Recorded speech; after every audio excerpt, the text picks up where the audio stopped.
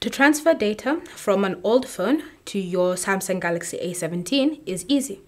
Go ahead and ensure that you have Smart Switch installed on your old phone, whether it's an iPhone or another Android phone, and also ensure that you have Smart Switch on your A17. Once you have them installed, just go ahead and launch the apps on both phones, like so, and then set up the app on your phone.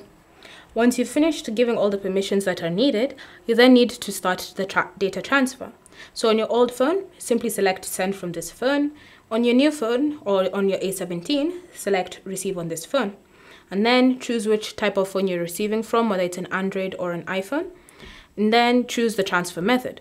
Now you can choose to use wireless or cable. Cable means that you need a type C to type C. Plug it in both phones and you can start transferring.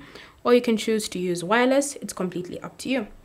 Once you've selected your choice, then just go ahead and scan the QR code or follow through the process of transferring data.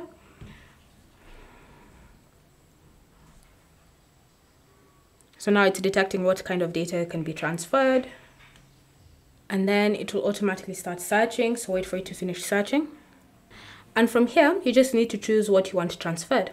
So now you can choose to transfer everything, just accounts, calls, contacts, and messages, or you can tap on custom and create your own custom transfer service. Then from here, just choose the items that you want transferred. So say, for example, you can just choose to have audio and the home screen settings. And then from here, just tap on transfer and wait for the process to complete itself. Thanks for watching. If you have any questions, leave them down below and I'll see you in the next video.